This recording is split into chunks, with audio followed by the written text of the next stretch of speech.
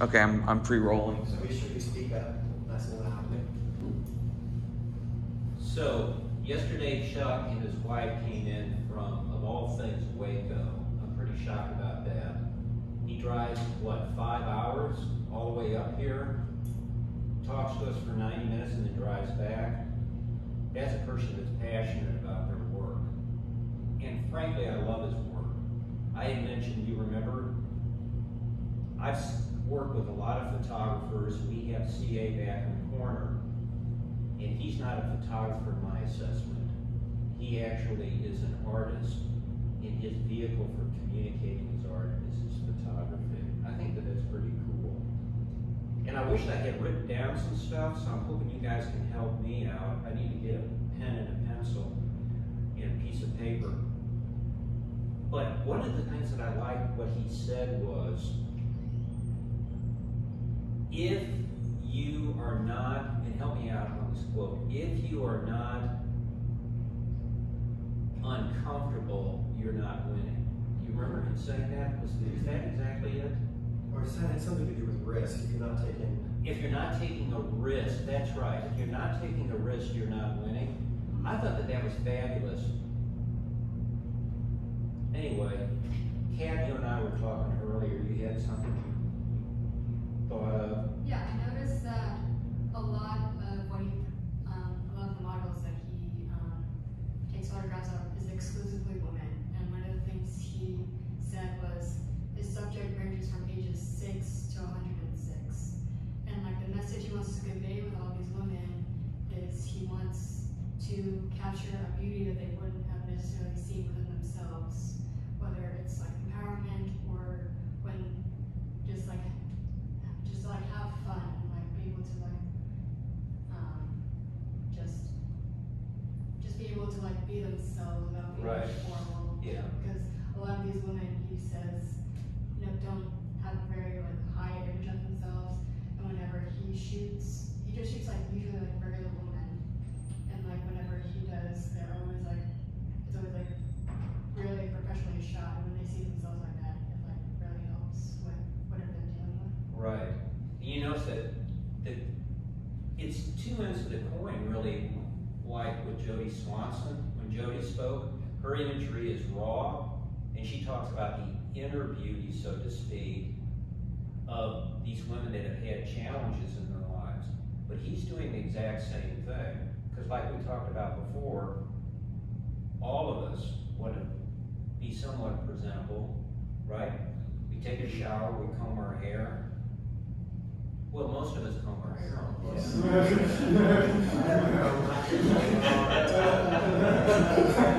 but I did appreciate, there's so many different ways that you can go about trying to raise your self-esteem. And this is a unique way that they have found as a couple to really help people do that very thing, especially, especially women, not exclusively, because we did see a few images Right. that he, where he would work with men, but that they have found this kind of, I would say, mission Yes. going about it um, in a way that nobody else necessarily could, it adds just one more way that we can kind of think about how someone could raise their self-esteem. And their backstory has molded them to who they are. Wasn't it remarkable? And I gotta be, I gotta be honest with you. I'm happy I'm not married to her. She has got more knowledge. She's got a memory. I just, I thought, oh my word. It scared the heck out of me. Poor Chuck. Did you say yesterday that you would have never won an argument? That's right. With some of you others guys, Um, my favorite aspect is when it was talking about how when it comes to any profession, there's more to it than just being the best. Like you gotta find what you like, and if if what you like takes you out of your comfort zone, like basically saying like how you just used to do bikini modeling, you said how he just he absolutely hated it yeah. and how it didn't make him progress at all because it was just the same thing over and over again.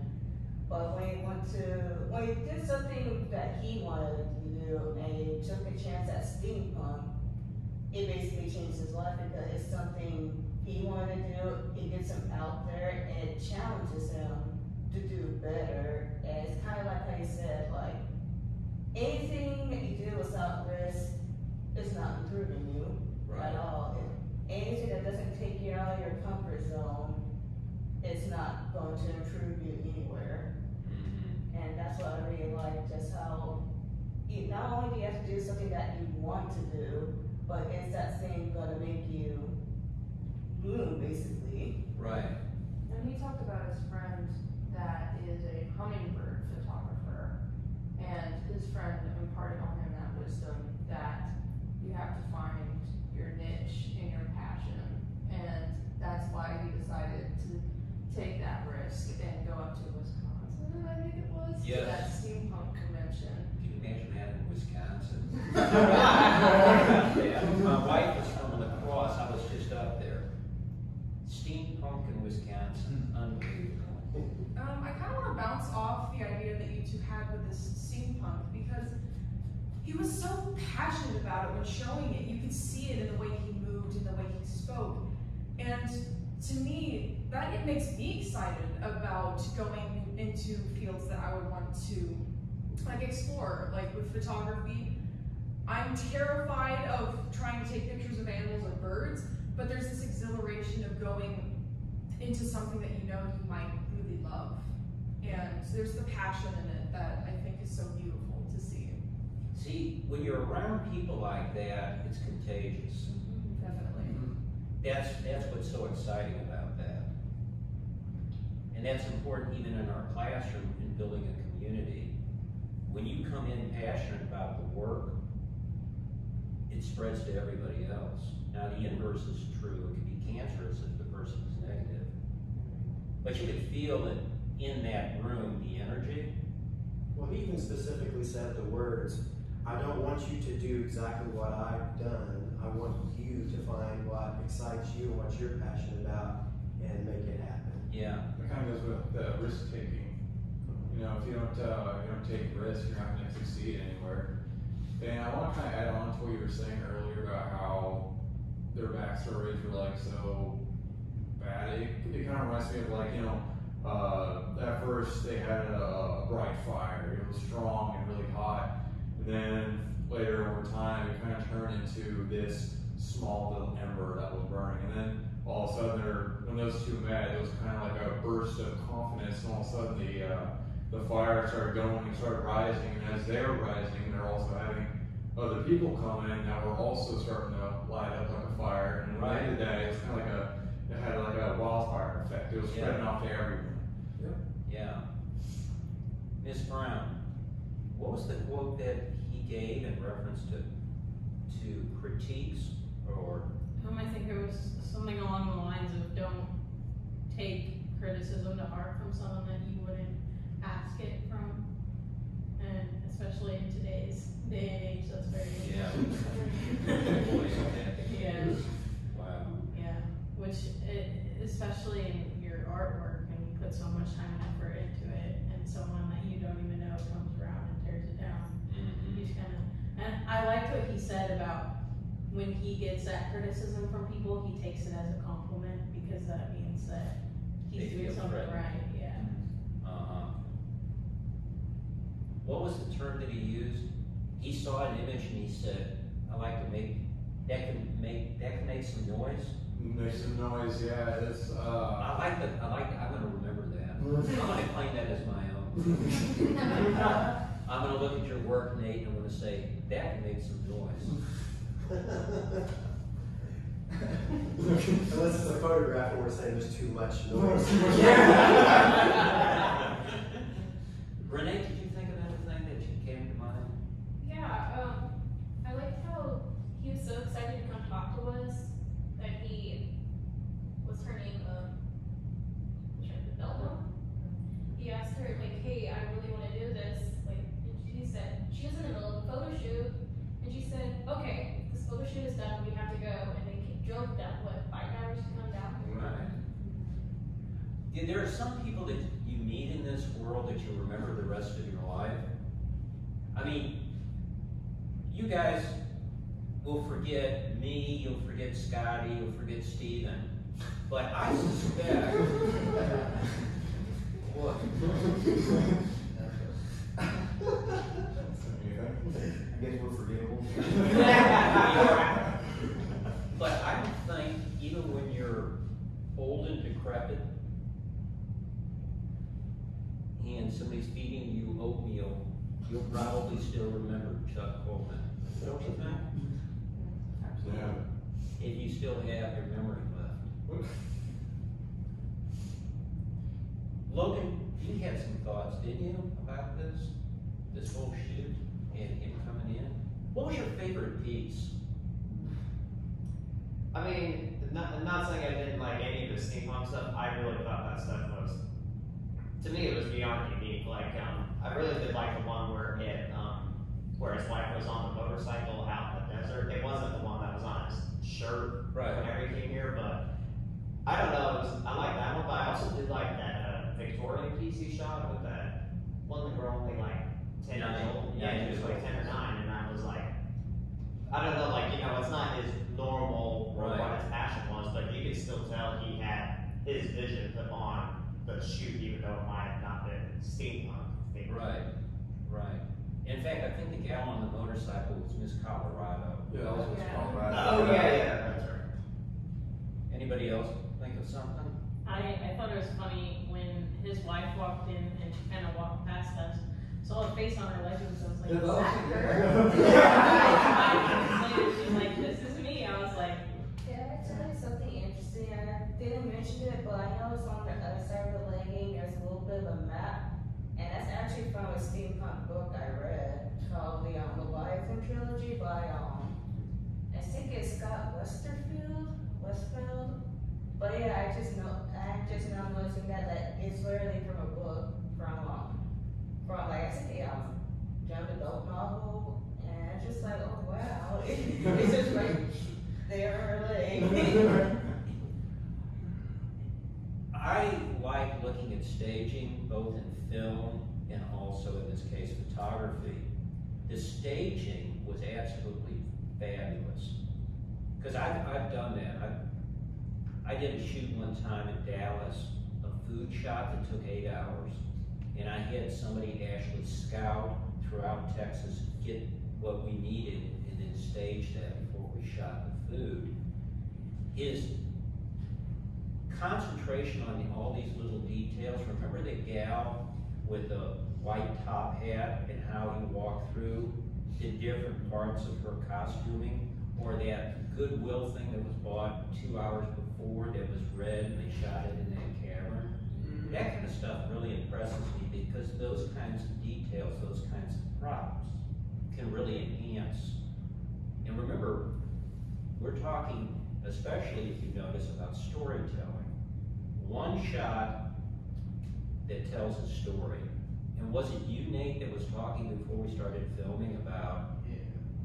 what was that you said? Um, one of the things uh, Chuck said was like, a story can be freeze framed, but you lose so much of it. So your first impression of a photo isn't going to be the same of a video. And learning, even down to a live photo that has just a small amount of movement is going to tell more of a story than a single freeze frame moment. Um, and it can speak to kind of where this generation is moving, that we can put everything into movement nowadays. Like even the photo shoots he all had completely recorded. He had our conversations recorded. Uh, everything we need because he wants that story because that's what makes a photo almost come alive. Knowing like the emotion behind it is going to make Right. it more powerful than just seeing a picture of a lady with uh, leggings on her face. And that goes back to what I was saying earlier. In printmaking, particularly in painting, and also in photography, a still photograph, providing a title that gives a hint of the story can guide the viewer. Also say, going back to what you mentioned with the setup and finding costumes, he removed a lot of obstacles in my mind because he was saying, you know, this costs five dollars. We this is actually just a sheet that, that we cut up and put in, and all of a sudden you start thinking, well, okay, something that looks like thousands and thousands of dollars was spent on it was thrift store Goodwill finds. Right. And it's what the person did with these very cheap, inexpensive, readily available materials that made it special rather than, and they did have some designer dresses as well, but quite honestly, it's very difficult for me to be able to say, yeah, that one is a designer dress and that one was bought at Goodwill. Right. I was wondering where, what Goodwill are they getting that dress from? Got Probably a just a Goodwill bunch of ad. eighties prom dresses at our Goodwill. Well, it's amazing that he can take a, an outfit that is thousands and thousands of dollars to make it look beautiful, or take anything he has and make it look beautiful as well. I mean, that, that's true craftsmanship. Yeah. To be able to basically take anything and, and stylize it into his style, regardless of where he got it or, or what it is. The other thing that we didn't talk about, but I've had to work with a lot of models through the years. And if it's not a professional model, sometimes the art direction is very wearing. And he has a lot of shoots in here where these are not professional models. So he's making some kind of connection with them that allows them to be relaxed whether it be that nine-year-old child, or do you remember the black-haired gal that was fifty-one years old that was an attorney? You look at that, the way she, how comfortable she is with her hair and her arm, you're thinking, are you sure that must be a professional model? Well, I even wanted to ask him, what do you say, how do you put a person at ease? But he, it kind of answered that question through his presentation by just how personable he is Yes. as a human being. He automatically puts you at ease. Mm-hmm. Um, I don't think he even thinks about it, it just It just comes. I mean, with that attorney, she came in with a dress. She said, I want you to shoot me. He throws her a corset, she puts it on, they have a shot. Just like that. Yeah, I was really nervous going into that room because I wanted to ask a lot of questions, but it was also like, oh, I'm asking questions to this guy who's like super famous. And then I saw his wife and I was like, oh my god, you know, she kind of stood out in our school because she's so gorgeous, and so I was feeling overwhelmed. But when he started talking, it seemed like I was immediately starting to feel more comfortable, almost like I'd known him for a while. Yes. So I think he has a talent of connecting with people. Hang on right there, I just got a phone call, so let me make sure this is still recording. Okay, we'll just have a little break there. Okay. What you said earlier, I love the dynamics of the couple. Um, I, I mean, you walked in and the first thing he says is, I'm an old man, don't ask me how, I- you know, and all of a sudden, all barriers drop. But the dynamic here, he's got all of this energy and he's all over the place. And she's quiet, reserved, sitting there, kind of keeping an eye on it. Kind of like, yeah. Saying, okay. And I just love that. And he had these really, you know, she has a very like sexy stare, right? when she does her modeling, and he would come up and he'd go, "That's my cupcake," you know. It's kind of funny, romantic. I thought it was interesting when, when you had said beforehand that his wife was a model, I was thinking, oh, they must have met at a shoot. And they come up with this huge, like, amazing story about how they met and how they came to love each other. I was like, that was not what I was That's a real love story, isn't it? That's fate. Yeah.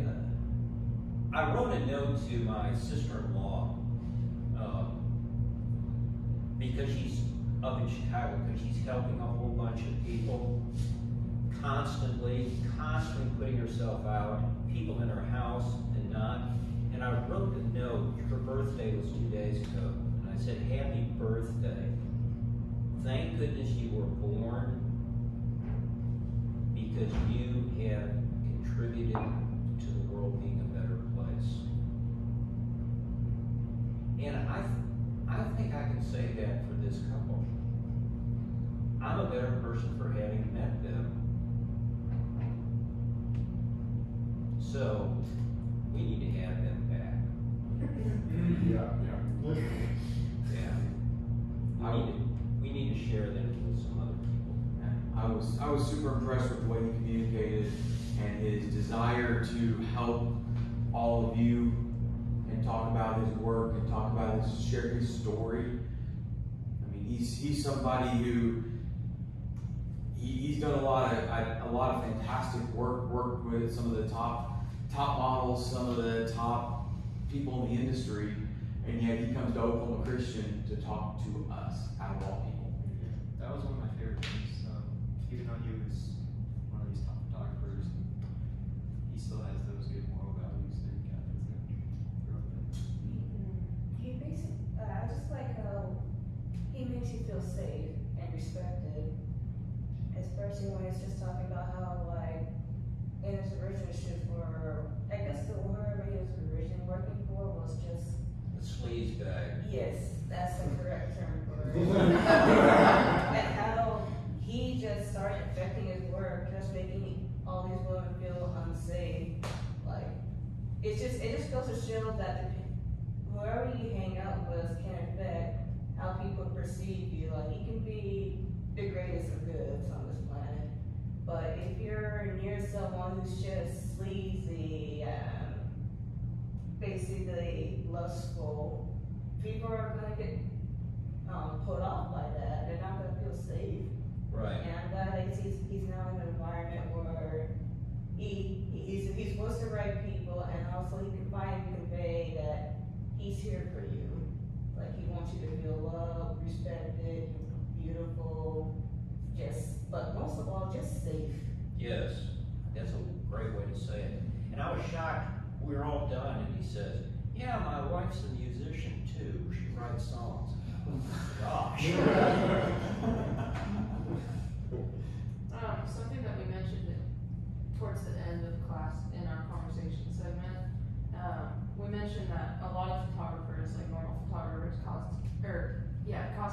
Fifteen hundred dollars per day. Right, And he, I imagine, costs more than that because he's so, you know, renowned. And that made me think we're so lucky that our small group got to sit down and meet with him and talk with him. And he just did that because he wanted to do it for us. yes. I- That's that idea of safe and valued and everybody's important.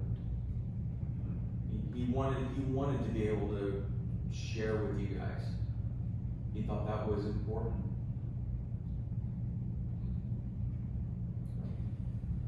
I think I need to walk my dog. well, with with that, we just kind of want to end with uh, Chuck. We really appreciate you uh, coming to speak with us. We appreciate your time, and uh, we look forward to another time when you can come back and maybe be able to share with a, a larger group. So, with that, just thank you. Thank you. Yes. Thank you. Thank you. Okay, let's go.